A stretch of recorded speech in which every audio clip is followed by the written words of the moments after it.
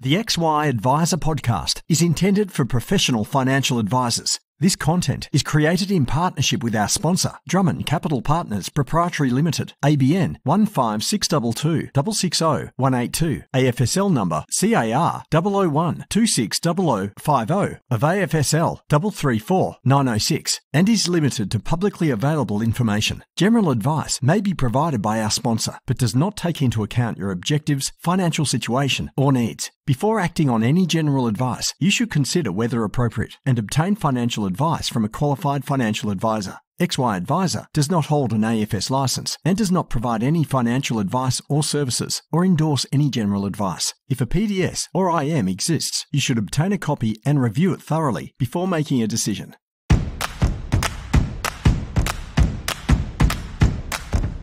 Welcome to the XY Adviser podcast, a global community of financial advisors sharing and learning with one another to drive the positive evolution of financial advice.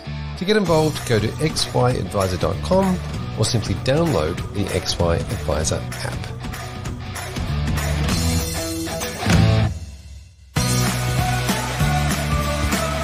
Drummond Capital is an independent, institutional grade investment manager passionate about supporting businesses with the implementation of managed accounts. While the growth in the sector has been significant, many businesses are not reaping the benefits. Understanding the journey and partnering with a truly independent business who is focused on achieving success for the advice practice is critical. Partnership is at the heart of what Drummond does, from investment management to client servicing and communications to business strategy support.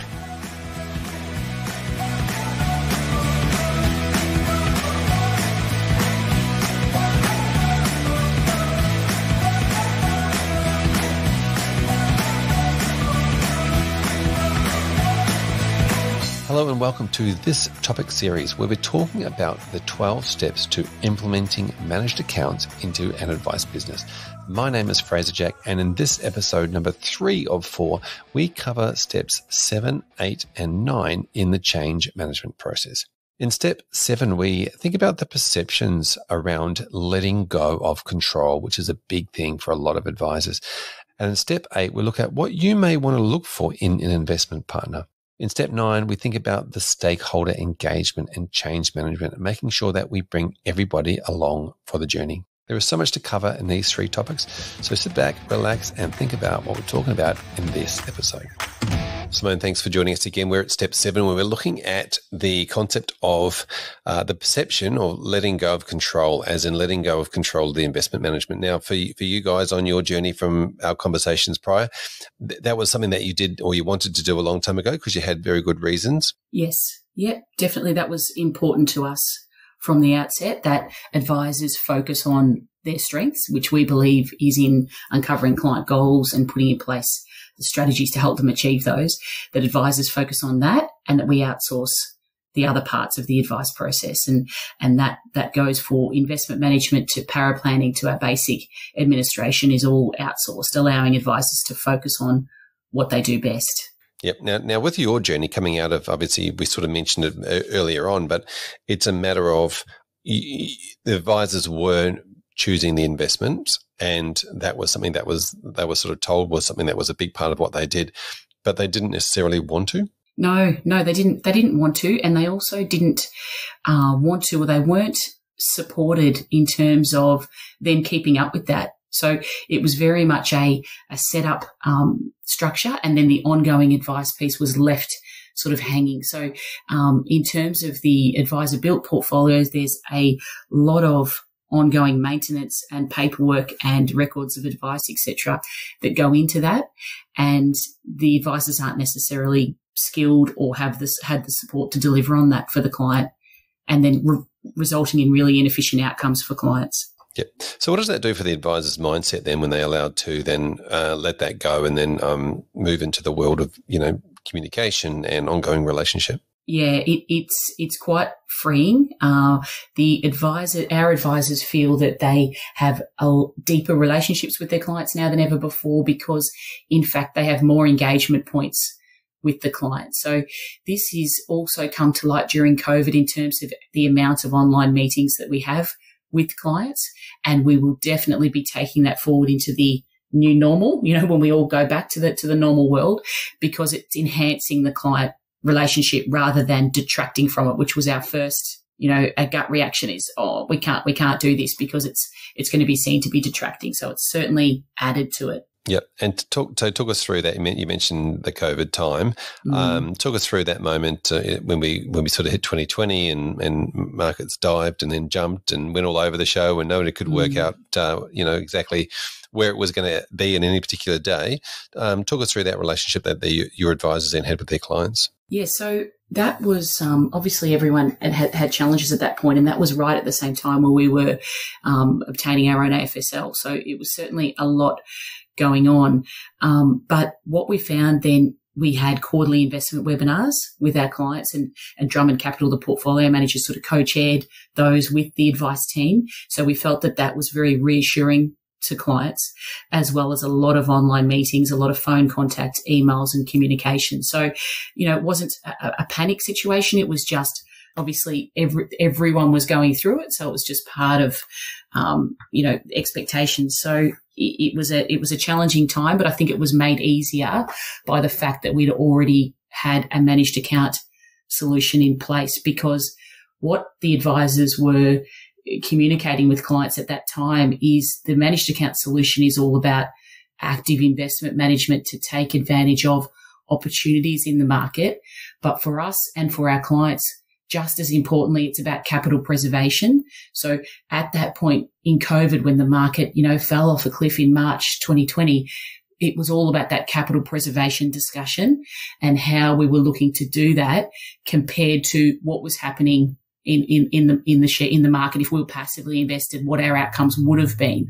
So I think clients felt protected through that time, but it was necessary to ramp up the communication. And we did that through the webinars and the online meetings. Welcome back, Dave. Thank you.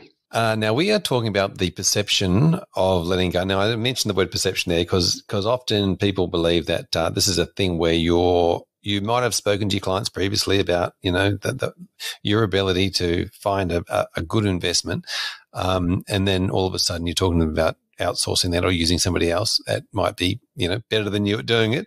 Um, you, there is a bit, a bit of a perception that you're losing control in the situation. You're losing control of the investments. What are your thoughts? Yeah, look, it's a good one. Uh, look, to be clear, we, we never sort of positioned ourselves too much in that space, but I can understand where people uh, would come from, uh, especially if they've built their practice over many decades and that's always been their value proposition. One thing I would say, I would arguably say you've got more control, right? And you've got better control over um, your clients' outcomes over a wide range of clients, right? So if you wanted to implement your best ideas, you can do that extremely quickly, right? Without the need to um, call up the client, update their data, get an ROA out and make that change or an SOA uh, in some instances. So I would say you are got more control um, in a lot of instances. Uh, it's all about how you articulate your role in that uh, investment process. But to be clear, it's your investment process.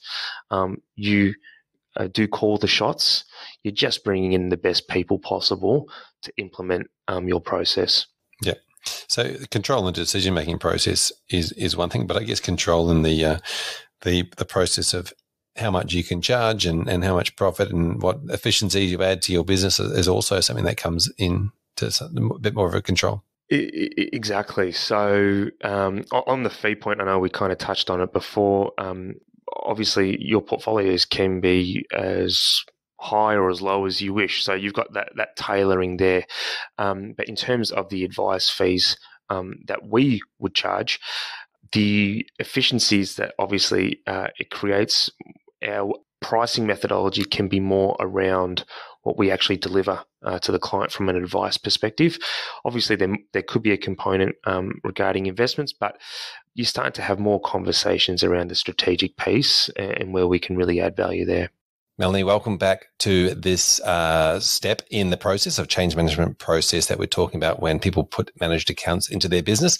Uh, you've probably seen this a lot and had a lot of conversations with people around the concept of, um, you know, possibly losing control or the feeling of control. Who's in control now? Do, am I losing control?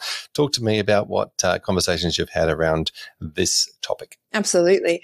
I mean, and if you're looking at control because I pick and control all the portfolios, introducing professional management or a managed account, yes, you are going to be losing that control. Um, I think the question then is, is that control you want to have? I mean, I think that's probably the more relevant question. If that is control that you want to have and you're really comfortable with that and you believe that and, you know, you've got your why for that, then that is a belief that you've got to work into the portfolios. Yeah, as you say that, I'm thinking of the words, you know, you always try and control what you can control and, and then realize what you can't control. And maybe that's a, there is a certain thing in there around, you know, you can't control how markets behave. Uh, and, and to be fair, doing, doing justice when your everyday job is looking and, and speaking and, and spending your time with your clients um, and controlling all the things around the client behaviors and, and controlling that relationship. Maybe that uh, maybe it's not yeah. something you do want to control. Yeah, I mean it's incredibly complex. The client's affairs are incredibly complex, and do you want to be an investment specialist or do you want to be an advisor? I'd, I'd challenge that you don't can't be both. Yep. Yeah, and one of the things I guess that you is within your control or should be is the efficiency and you know the efficiency of the business, you know the profitability of the business, all these sorts of things. Yeah, and the, and your governance over who you're bringing in to help manage the clients. You know, you you'll have to do a whole bunch of work and continued work when you adopt a managed account to make sure you're comfortable and happy with the performance of these portfolios and the management of them. So it's not that you outsource it and, you know, kind of wipe your hands here. You have the governance role of all this. Yeah. And when you say governance, you're talking about, you know, obviously if, if somebody's not performing, then yep. you have the control to say, okay, uh, we need to try somebody else. Yeah, you've got the oversight of picking the managers and the consistent and ongoing performance management of these. And then, you know, you might get to a point where you want to change managers as well. Now, Tom, we are talking about letting go of control, uh, and you know this is a big part. This is a big emotional and mindset piece of the of the jigsaw puzzle. Um, tell us a little bit about your experience around um, advisors that have been through this process and, and the concept of them having to give up control. It's really interesting. Is uh, first and foremost in in the traditional structure where advisors are obviously giving advice to the client and the client is accepting that advice. I'd argue the advisor doesn't actually have control, the client has control. So, first and foremost, what control exactly are you ceding in the managed account structure? Because really, if your decision is around recommending a product or a service or a solution, in the same way you are recommending an individual managed fund, you are now recommending an individual portfolio or a holistic portfolio, if that makes sense. So the control element is still ultimately really the same. The advisor is recommending a solution for a client and the client is accepting of that. It's just now within that structure there is some more, there is more discretion than there was before, and but it's not it's not really dissimilar to a fund manager who selects stocks. You are choosing an Australian equity manager to go and pick you know the best combination of, of Australian shares within the market. It's the same way as you're choosing an investment manager to pull together the best group of managed funds within a multi-asset portfolio. And so I, I really don't think it's that different.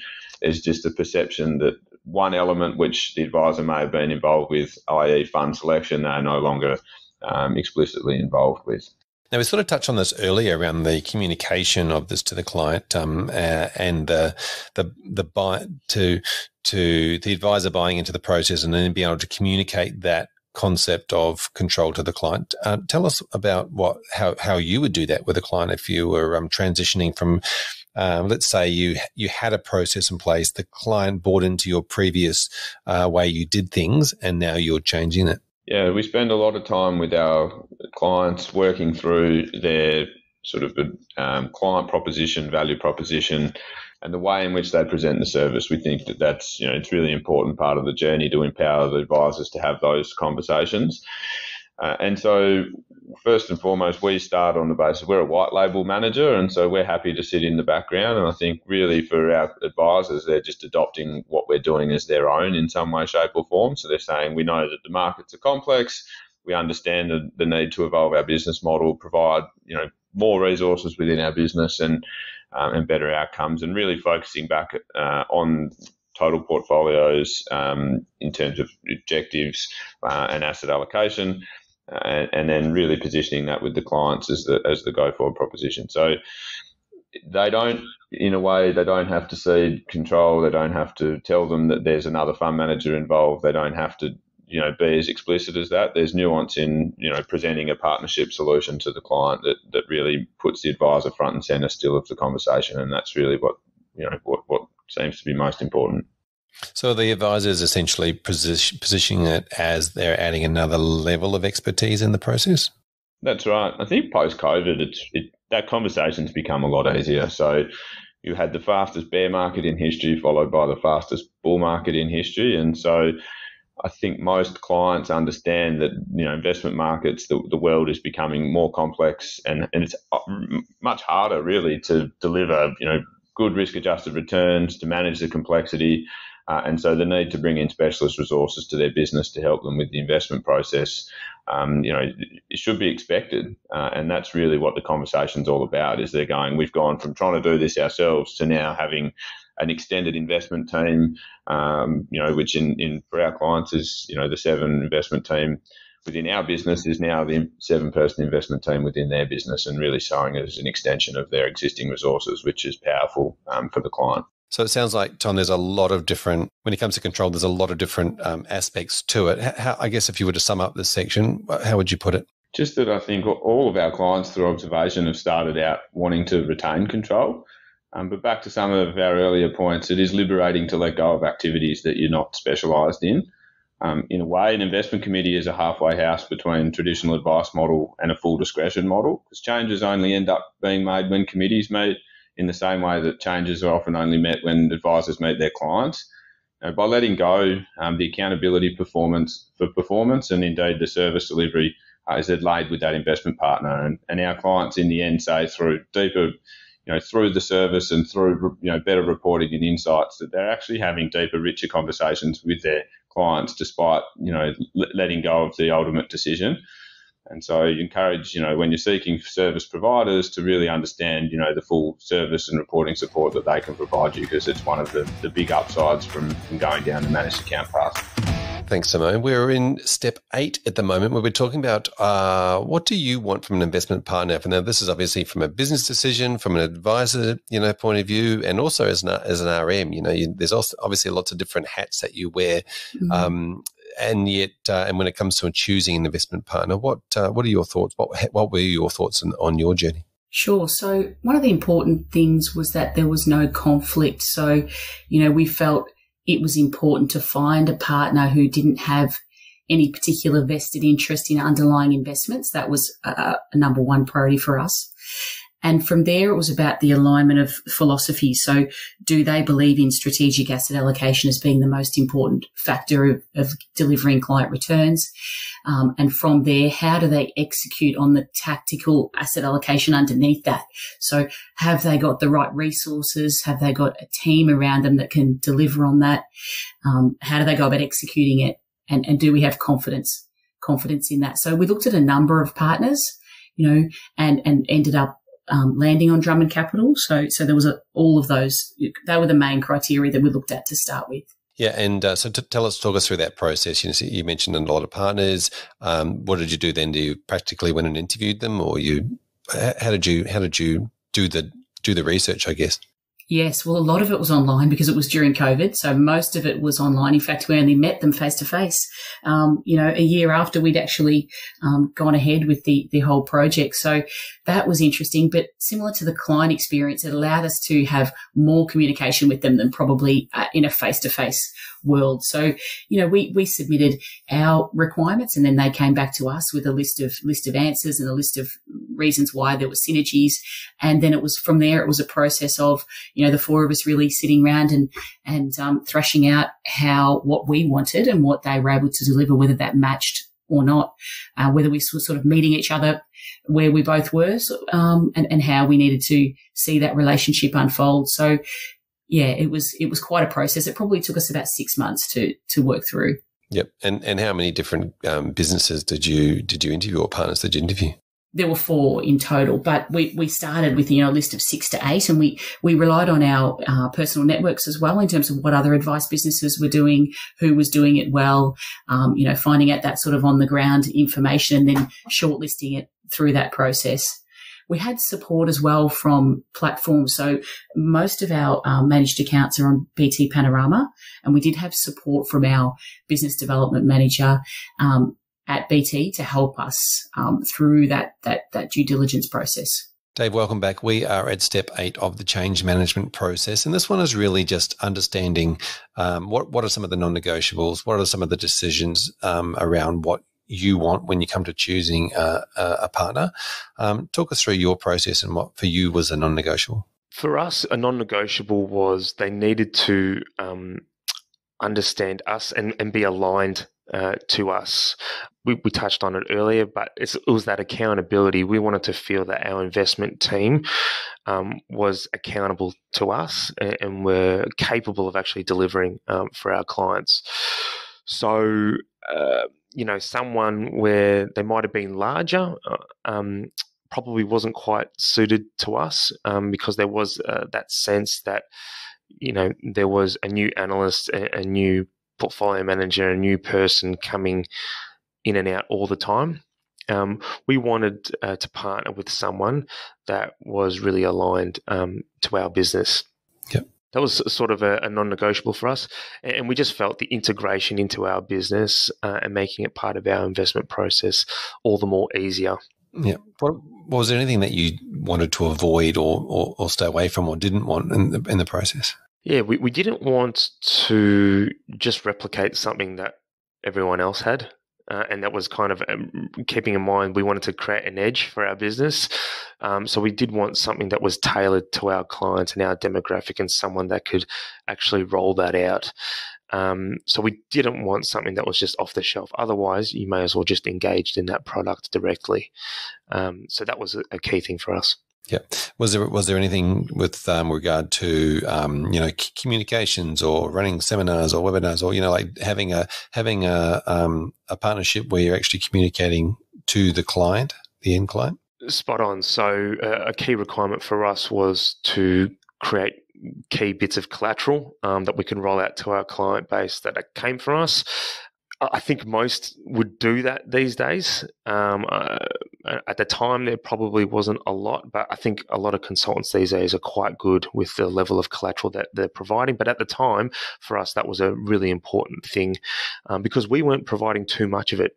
N- nothing that was that meaningful uh, at the time. So that our business has completely changed um, in that regard. Yep. Now, um, I just wanted to ask you, from your client's point of view, when it comes to say your branding, what what do they see? Do they see your brand, or do they uh, is is this kind of like you're using an outsourced partner to create advice for you, or are you using this outsourced partners to create a community, you know a, a line to your client? Yeah, so we, we get our partner to um, tailor the, the content for us, um, which is uh, with our company logo on it.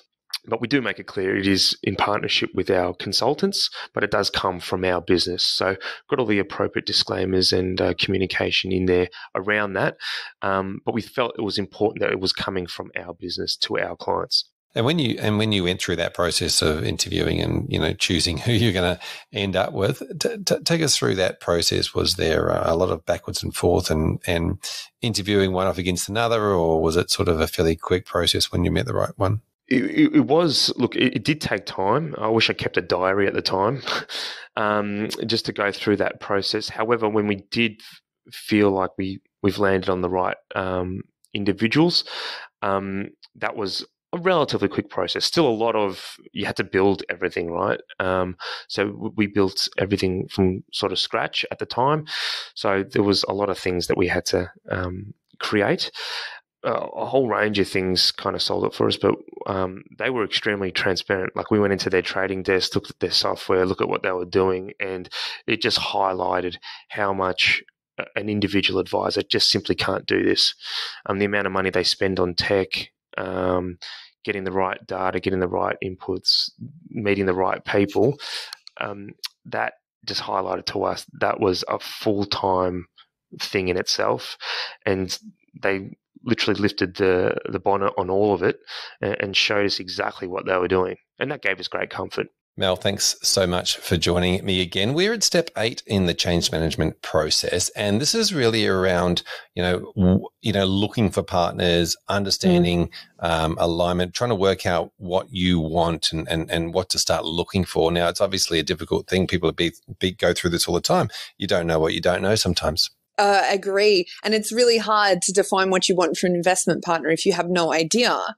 And I think this step does stop a lot of people as well um, I really encourage you to reach out and ask an investment partner, how do you service clients? What services do you offer? Um, but some of the key things as well, you know, in that they'll have to explain to you their investment philosophy, how they communicate with you, how the portfolios are run, how are fees charged?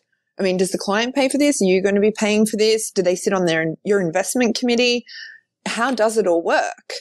So I think I'd really encourage people to be brave enough to just ask partners what the kinds of services that they offer.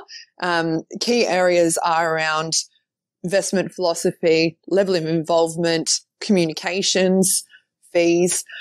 It's also, I think, important to look at and being transparent with your investment partners and in this process, what your portfolios currently look like now be clear about the different dynamics in your business as well um, and where you want them to kind of be because you might have big CGT positions that you need to consider in this. You know, you might have one of your partners in your firms who really wants to stay involved and continue to pick funds in this process. And you might have an investment partner who, you know, as being paid for an investment partner, won't want that kind of step with having to convince you to do so while they're trying to pick a portfolio.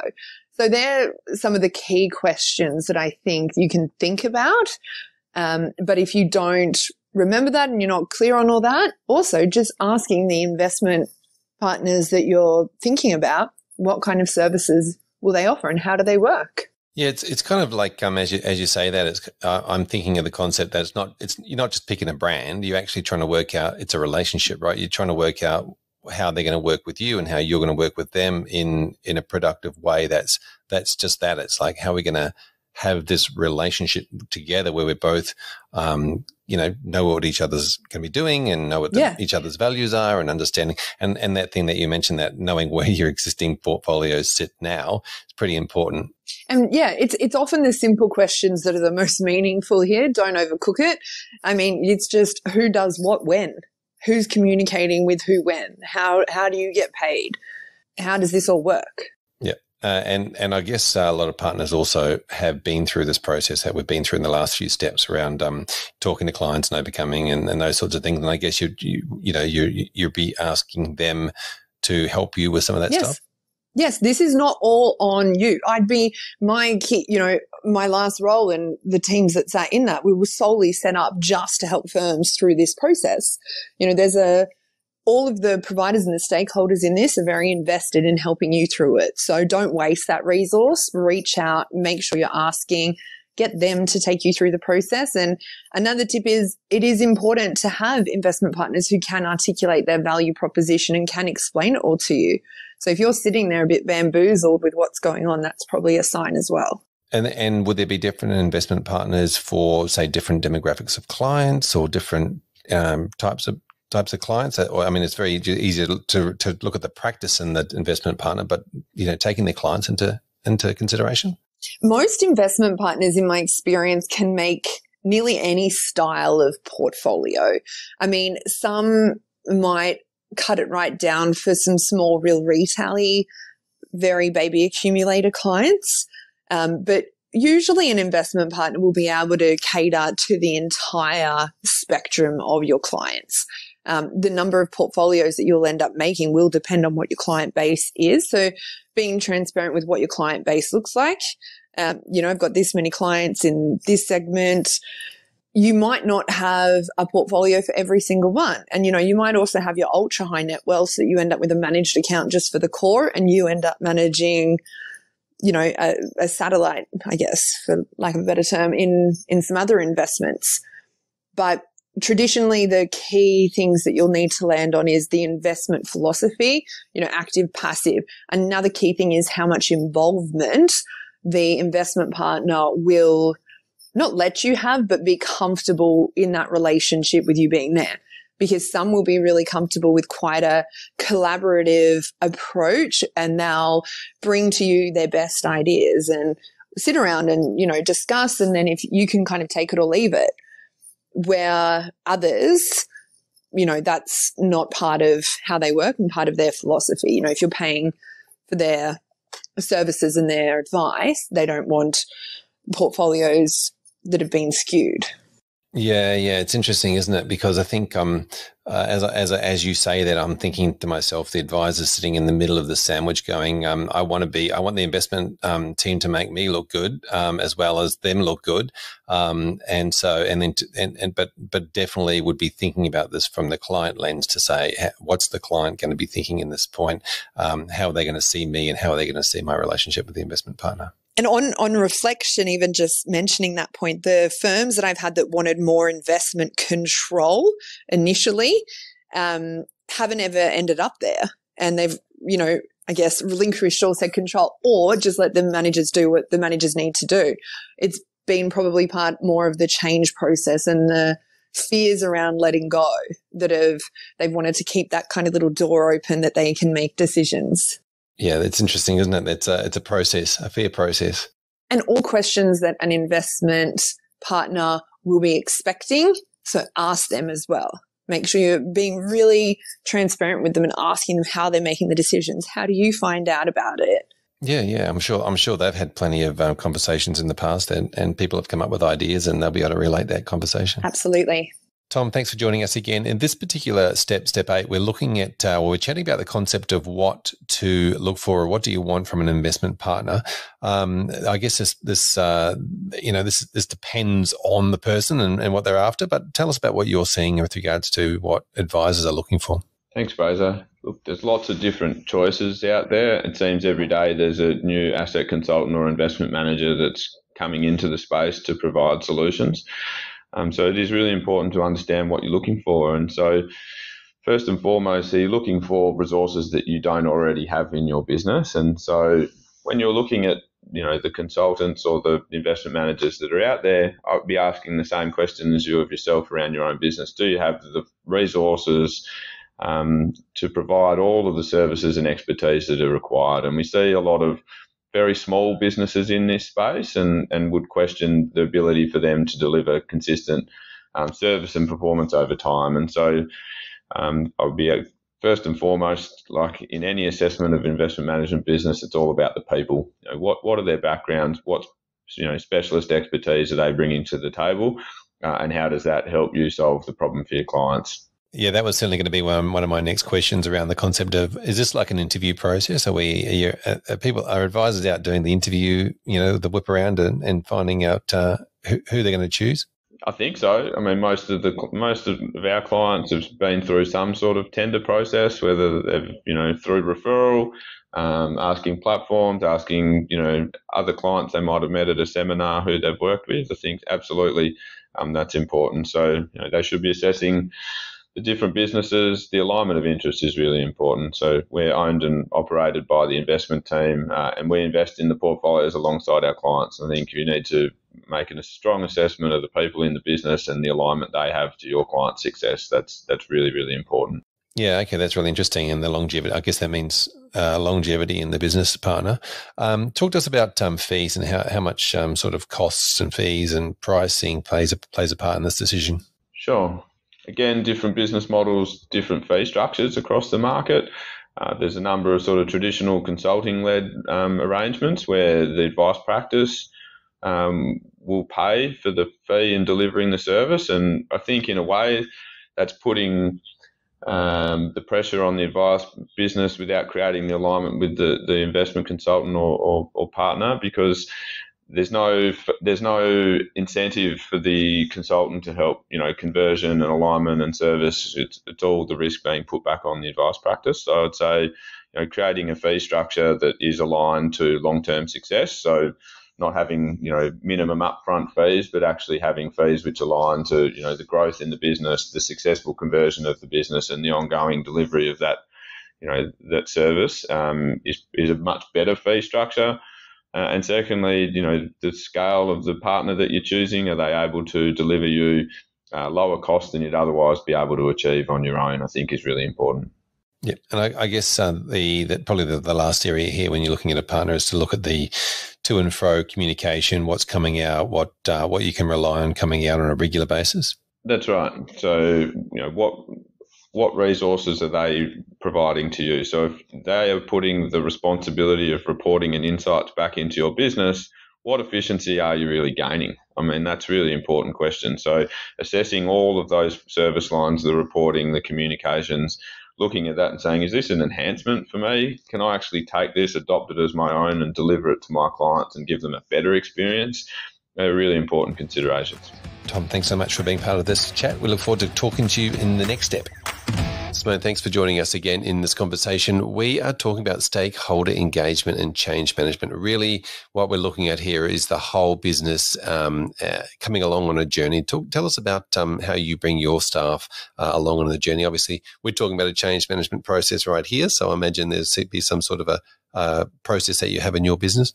Definitely, yeah. We had a full um, project plan um, scripted from the very outset in terms of what we felt we needed to do and who we needed to bring in at certain points.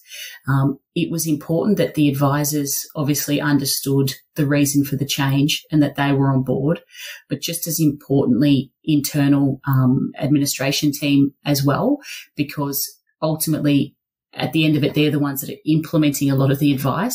And so we felt it was important to demonstrate to them why we're making this change rather than just land on them. Look, this is the new way of, of doing things. So yeah, there was a whole, there was a whole project there and uh, many, many people were involved in that. So from um, the advisors to the admin team to our outsourced para planning team. So we had to make sure that they understood the new investment service and and we made sure we tweaked our SOA templates to, to cater for that. Yep. So a fair bit of not just uh, coming on board, but it sounds like a fair bit of training as well. Definitely. Definitely lots of training. And we also did role plays, which oh, some of the advisors didn't overly enjoy because it took them back to some of their previous days. But, but we felt it was important to, to have that role play environment because clients will ask questions and, and we wanted to all be ready as much as we could to be able to explain to clients the reason for the change. It's a really funny concept, that isn't it? Because mm. uh, none of us love a role play. Everyone's like, "Oh, really? Come on!" um, but I think uh, it, it, there is certainly it's the vetting process. You know, we, we use the word mm. vetting a, a, lot, I guess, and um, it's that process of you know what, there is a safe space, go and fail fast and get all that out Definitely. of the way, and then exactly. and and also when you're you know with you with your peers and you and you are doing that role play, they come up with some magic, and you just go, mm. that was wow, I'm I'm going to use that. That was amazing. That's right. Yeah, exactly right. Yep. And tell us about uh, any referral partners or anything, you know, bringing them on board or when you make changes. Yeah, so we work with predominantly three accounting firms. They're our main um, source of referrals.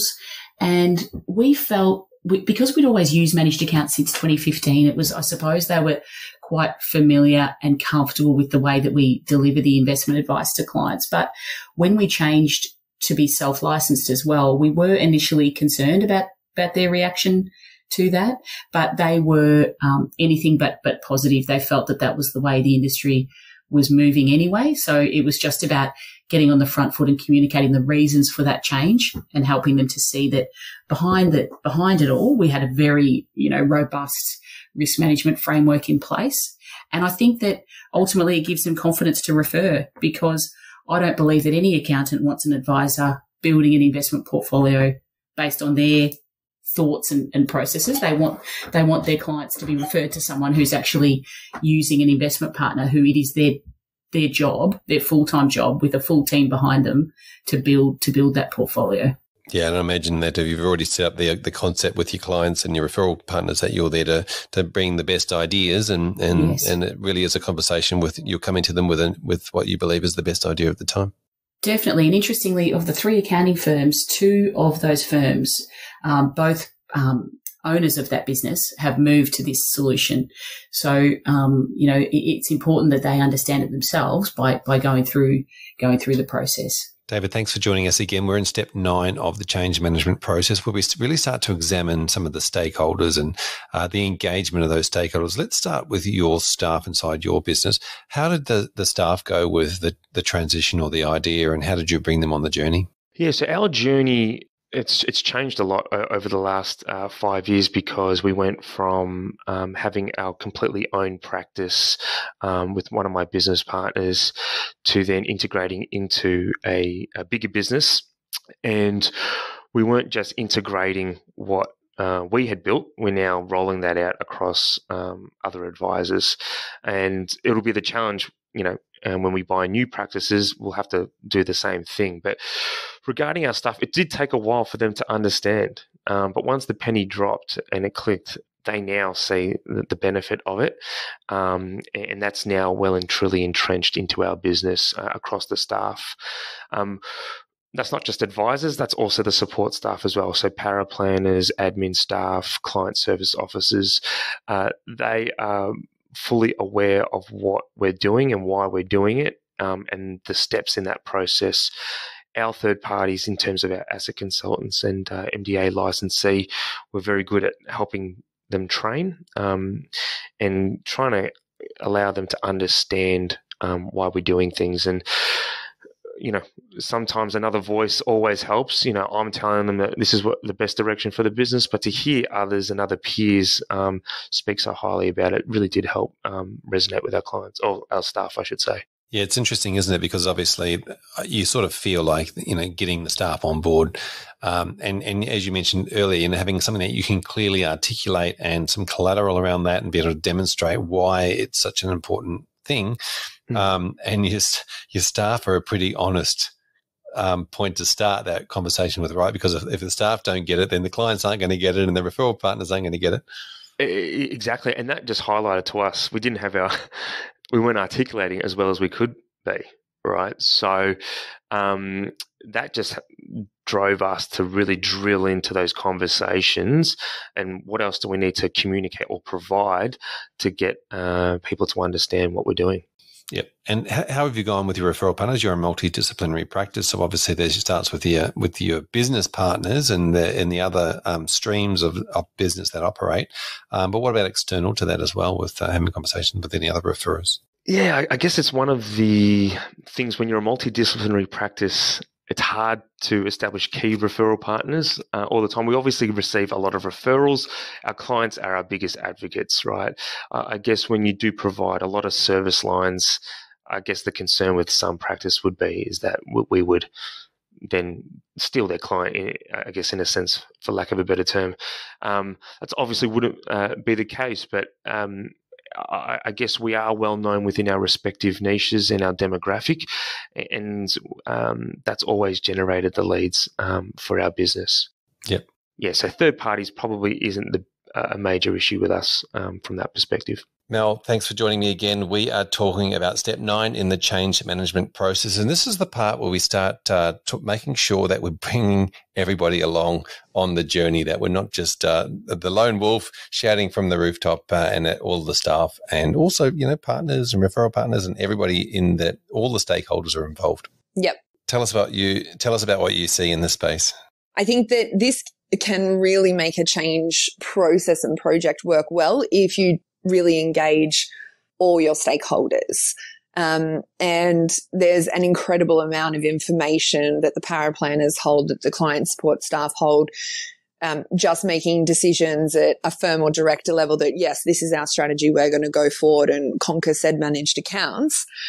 It is as simple and as easy as having a few hours with the back end back staff, the support staff, the para planners, you know, the people that are really familiar with all the processes and systems, bring them along on the journey, asking them how this would work, flushing out where they're going to have problems in this, because there are going to be things that you're going to need to address in this process. You know, you're not going to adopt a managed account and have it's not going to be complete smooth sailing the whole time. It's just not. But the way to minimize it is to bring forward any friction points and then you can start to mitigate it. So little things like you might have to include extra things in your SOA, or you might have to change your implementation checklist. You might have to, you know, get something ready for Xplan, recode something. They're really easy little things to miss because you've also got to focus on the big picture stuff. But that is the stuff that when you start hitting go, it's like roadblock after roadblock after roadblock for your support staff and your teams. And that can get very fatiguing. Yeah, it's interesting, isn't it, that uh, the whole project management space, and obviously some some uh, people don't like getting into the nitty gritty of all those change, all that change stuff. But um, when a lot of people um, in inside of practice, if you're bringing everybody uh, uh, on board and you're setting the expectations that there are going to be friction points and and you know tasking people to look out for them and mm. and, and lean into them and bring them forward as soon as they see something, I guess um, yeah, I think that's probably a, a decent way of doing it. I'd say make make yourself bring them forward. So as you're kind of going through this process, sit down and go, okay, what is that? What's that SOA process going to look like? You know, and have have a champion from your para planning team, have a champion from your client service team there, and actually kind of go through step by step. Okay, I go into Xplan and do X, Y, Z. I do this, I do that. How will that work? What in what text do I need? What everything do I need? It's sounds worse than it is, it can be quite a quick process to go through, but it will save a lot of angst.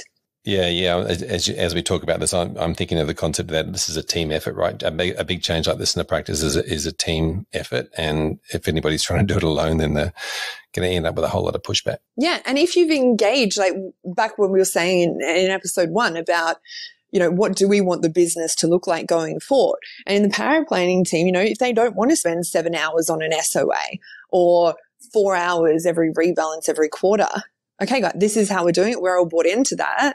This is how we're going to achieve it. How do we make sure this is successful? Yep, fantastic. And then obviously, uh, you know, there's there's other stakeholders in and around businesses like um, referral partners and oh. um, other stakeholders. T- tell us about that process because I'm thinking it's kind of like, well, you know, do do we bring them on after we've implemented, or is it they, they, do they need to be yeah earlier the better. The earlier the better, and just biggest tip in everything managed account is ask, ask, ask. Just ask all the questions you don't think are real questions. They're simple, they're basic. Ask them. Reach out to all the stakeholders that you have, all your partners, or your your entire ecosystem. Ask the questions, right? Um, everybody is invested, all of the investment partners, the platforms, everybody is invested on making this as seamless as possible. And they all have teams set up to do so. So reach out at step one. The earlier, the better, because the more that they understand your objectives and how your business works, the more they can take the grunt work for you. Tom, welcome back to step nine. We're talking about stakeholder engagement uh, and change management. We're now obviously we're talking about the teams um, around advice practices. Um, tell us how important it is to get your whole team on board and everybody involved. You are really changing a, an enormous part of the way that an advice business operates, and it is important that all layers of the team are involved. Firstly, starting at the top, some often there might be an advisor that sort of led the charge, if you will, in, in adopting a managed account service. And it's important before you actually embark on the rollout that all advisors within the business actually agree and adopt, you know, the new philosophy and the way of doing things. Because if we come back to the objectives of wanting to change the way in which investments are delivered at a business level and, and ultimately achieve that of business efficiency, then it's important that all advisors actually agree uh, and are looking to adopt the, the philosophy and the service going forward. So it starts from the top down. But then, secondly, the, the change management process, you know, there's let's there's definitely work involved. I mean, every client will need a statement of advice in order to, to make the transition, and so you know, making sure that the, there's adequate resources and understanding within you know the para planners, and sometimes that's internal and sometimes it's external and actually, sometimes a great way to do it is to, to bring in for a period of time a project team of external paraplanners potentially that can help facilitate the, the transition and do so without burdening the, the existing team and advice process. Um, you know, and finally, then all the different partners that come together. I mean, the stakeholder management extends beyond the business. Uh, managed accounts require a specialist platform operator, so making sure that the engagement and training on the platform side, there's resources there for, for that.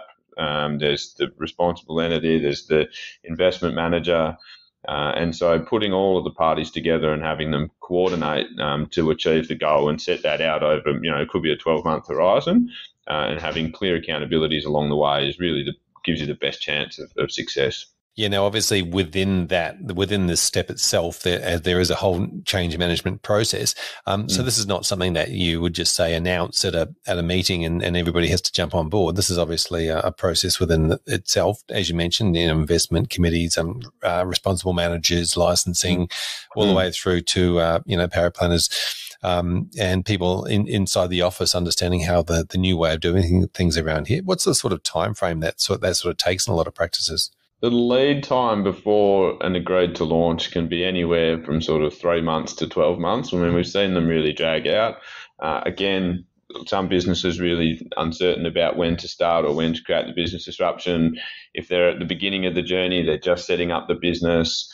Potentially, they're you know they might be acquiring a practice. There's lots of distractions along the way, uh, and so we see the most successful outcomes when the advisors all collectively know from a business point of view that it's something that's critical to them to do and there is no right time but the, but you must start. They all know that really they must start and once you get to that point once from the top down at an advice level all advisors agree that it's the path forward then really you know you can start the the process the project plan if you will the change management process. But until you've got collective buy-in i think as a as an advisor um, you know, within and, and all the advisors within the business, it's hard to um, it's hard to start.